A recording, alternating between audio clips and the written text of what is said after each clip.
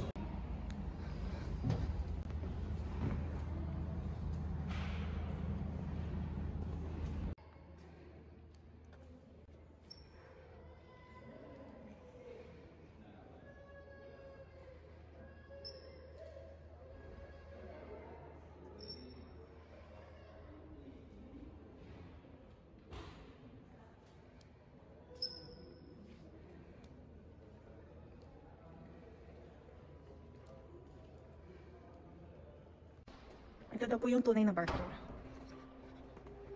Sisindahan mo na lang.